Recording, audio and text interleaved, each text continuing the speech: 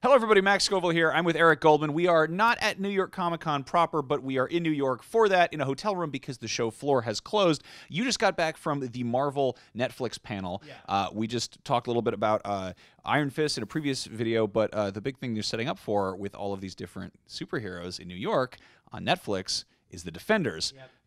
What do we know? Well, I will say this: uh, they surprised everyone by bringing out all the defenders. And again, this was advertised as an Iron Fist panel, and you thought they might have a couple surprise guests, but it, everyone was there. So after they kind of cleared the stage uh, at the very end, they brought out. Finn Jones came out again, plays Iron Fist, and then Mike Colter and Krysten Ritter and Charlie Cox. So the whole cast was there, and that was just a great moment, obviously, for fans to see these the four of them together for the first time because we haven't seen it on screen yet. Uh, everyone was going crazy. And then they had another announcement that they gave us, uh, which was the villain.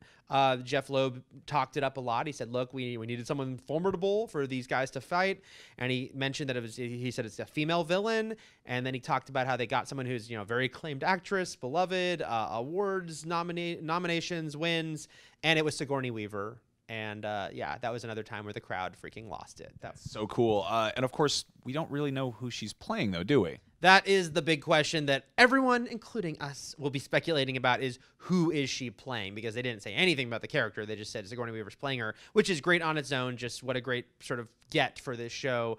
Uh, but yeah, as far as looking at Marvel lore and what character she could be playing, uh, there's a lot of questions, and I, we're all going to be uh, speculating left and right, I think, about that. Okay. Uh, real quick, I just wanted to touch on the fact that uh, obviously the Defenders have taken a lot of different forms through the years in the comics. Uh, in this case, they're all very street level, very grounded. These characters, uh, and most of the ca- the series we've been seeing have been like you know very dark, like Daredevil's dark. Uh, Luke Cage is a little bit more more playful. It seems like Iron Fist is kind of going that direction.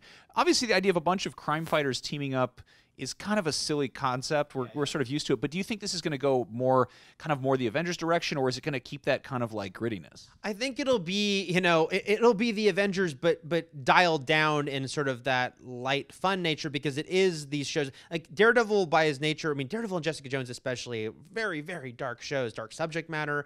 Um, you can't ignore that. Yeah, there's something when you put them all together in a room that's going to be there's something a little more goofy and fun in a good way, guys. Um, love that stuff. So I don't think it'll be Daredevil level dark, but I won't don't think it'll also be as light as Avengers. I think it'll be kind of a happy medium where they kind of account for the fact these characters are darker, but now we're going to go for a little more of a playful approach because we brought all four of them together. That's what I want. I want the banner. I want Power Man and Iron Fist. Uh, anyway, we've got uh, lots more New York Comic Con coverage right here, so stay tuned. Eric, thank you very much.